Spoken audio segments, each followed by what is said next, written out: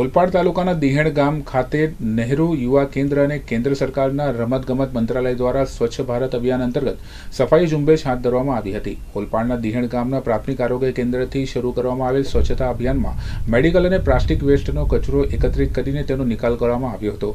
આ સ્વચ્છતા અભિયાનમાં નહેરુ યુવા કેન્દ્રના કાર્યકર્તાઓ તેમજ પ્રાથમિક આરોગ્ય કેન્દ્રના કર્મચારીઓ ઉપસ્થિત રહ્યા હતા. મારું નામ એનવાયવી દેવી પૂજક મનોજ નહેરુ યુવા કેન્દ્ર યુવા કાર્યક્રમ ને રમતગમત મંત્રાલય ભારત સરકારના તરફથી. આજે શું કામગીરી કરી રહ્યા છો આપ અહીંયા? આજરોજ ઉલપાડ તાલુકાના દિહેણ ગામ ખાતર પીએચસી સેન્ટરમાં સફાઈ અભિયાનનો કાર્યક્રમ કરવામાં આવ્યો હતો. જેના અંતર્ગત અહીંયા પ્લાસ્ટિક વેસ્ટ અને મેડિકલ વેસ્ટ અમે એકઠું કરીને એનું નિકાલ લાવ્યા છે. અને આ જ રીતે તારીખ એકથી એકત્રીસ ઓક્ટોબર સુધી સ્વચ્છતા અભિયાન સમગ્ર ઉલપાડ તાલુકામાં કાર્યરત રહેશે. મારું નામ doctor Himakshi Desai, medical officer, પ્રાથમિક આરોગ્ય કેન્દ્ર દિહેણ.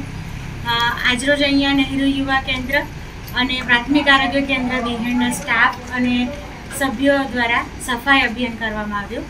એમાં બાયોમેડિકલ વેસ્ટ અને પ્લાસ્ટિક વેસ્ટનું જેટલું પણ જનરેટ થયું જે કેમ્પસમાંથી ભેગું થયું એનો નિકાલ કરવામાં આવ્યો.